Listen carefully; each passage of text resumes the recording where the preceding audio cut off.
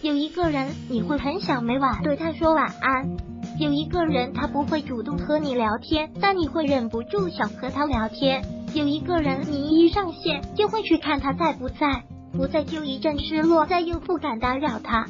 有一个人他的状态签名，只要一换你立刻胡思乱想，揣测不安。有一个人你在线只是在等他，而他的头像却不会在你的 QQ 里抖动。有一个人你总是忍不住去看他的空间。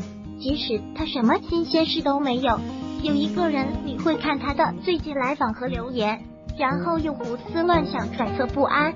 有一个人你一直在等他，他却忘记了你。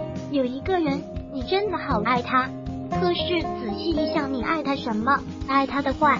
有一个人你以为他是你的永远，但是他却告诉你，你只是他的过客。有一个人你真的可以对他无条件付出。他却不稀罕，对他来说你只是负担。有一个人你那么那么舍不得，他却那么随意洒脱，不在乎。有一个人教会你怎么去爱了，但是他却不爱你了。有一个人你总说要放下他，却总是忍不住又拿回来回味。有一个人你真的好想他快乐，所以你宁愿自己不快乐。有一个人离开他的时候你笑了。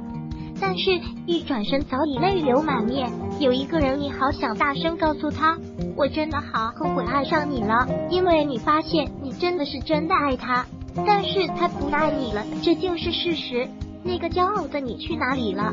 删掉了 QQ，一个人在电脑前流泪；删掉了电话号码，一个人在窗前神伤，大哭一场，允许自己再大哭一场，以后再也不会期待。不会看他在不在线了，不会看他的空间了，不会期待他的信息和电话了，不会期待他会关心你。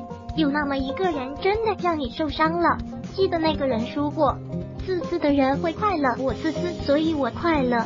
人再见了，我那么那么爱你，我一点也不遗憾，值不值得都不要紧，重要的是记得曾经有那么一个人爱过你，现在我把爱情还给你。那你把我的骄傲还给我好不好？培根说，爱情是很容易考验的。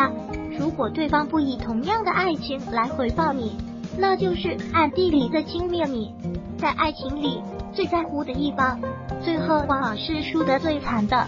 假如爱一个人没有回应，与其乞讨爱情，不如骄傲的走开。这样，至少你还能赢得最后的尊重。